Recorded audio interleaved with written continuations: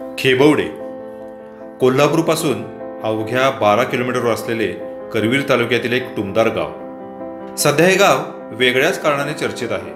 आश्चर्याची बाब म्हणजे मागील दोन वर्षांपासून या गावामध्ये पंढरपुरी जातीच्या हजारो चिमण्या बेंदूर सणानंतर येतात आणि चक्क तीन महिने मुक्काम करतात. या चिमण्यांच्या चारा पाण्याची व्यवस्था सैन्यातून निवृत्त झालेल्या नामदेव शंकर चौगले यांनी केली आहे.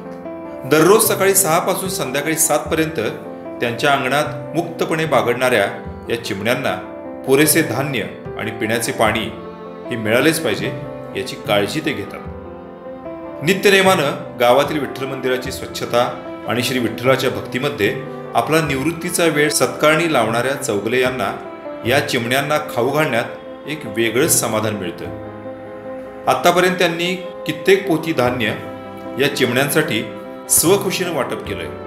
त्यांनी यासाठी कधीही कोणाकडे मदतीची अपेक्षा केली नाही आहे चिमणी आता जवळजवळ दोन वर्ष जवळ ही आमच्या दारात येत आहे. धान्य तांदूळ आम्ही असणे रोज सकाळ सहा वाजेपर्यंत ते संध्याकाळी सात सा- साडेसहा वाजेपर्यंत आम्ही टाकत असतो धान्य कमीत कमी आठ नऊ किलो दूर लागते दिवसाला. बारीक तांदूळ आहेत. म्हणजे पंचवीस रुपये किलो आहे. ते क- कंडा म्हणतात तांदूळ चिमण्यांचं तोंड बारीक असेल त्यांना मोठं तांदूळ चालत नाहीत. बारीक तांदूळ आम्ही वापरतो त्यांना खा. पूर्वी म्हणजे आमचं वडील थोडंसं धान्य आपल्या गावठ्या चिमणी पहिलं टाकत होते. अचानक हे गेल्या वर्षी पांडुरचा सप्ताह झाला. त्या सप्त्यातनं जर मी बाहेर आलो तरी आमच्या दारात येऊन हे पंढरपुरी चिमण्या भिरजे भिरू बसले. मग मग मला वडिलांची आठवण आली. वडील आमचे पहिलं पूर्वी टाकत होतं तांदूळ. मग ते आम्ही कधी कधी तर टाकत होतो. पण एवढं नव्हत्या. पण आता गेल्या वर्षीपासून भय प्रमाण वाढलेत. जवळजवळ दोन तीन हजार चिमण्या आता दारात रोज पड येऊन हजर होत्यात. मग दिवसभर माझं हेच काम आहे पांडुरंग देवात यायचं आणि हीच चिमण्यांची सेवा करत राहायचं हेच. काय?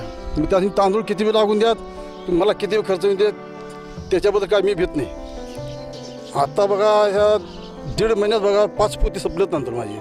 काय मग आता इथून पुढं अजून किती राहते काय माहिती नाही पण हे गौरीच्या टायमाला जातात भात पोसवायला किती जात ही निघून जाते इथनं. मग परत पुढल्या वर्षाला बेंद्राच्या टायमालाच येतात. आमदार बेंद्राच्या अगोदर आल्यात. गेल्या वर्षी बेंदूर झाल्यानंतर आलते. देवातनं आल्यापासून दिवसभर माझं हेच काम असतं ही सेवा करता येतं. संध्याकाळी सातला ते आपापल्या घर घरोटीत जातात. मला ह्याचा आनंद मला हेच आवडते. मी पांडव देवात मी पंढरपूरला गेलो दोन तीन वेळा गेलो पण वारीबिरी काय करत नाही मी. काय? फक्त मी देवा सेवा करतोय. पांढरू पंढरपूरला जायची काय गरज नाही. शेतच माझं पंढरपूर इथं आहे. सगळं आटो करतो देव आमच्या गावात आहे तिथं.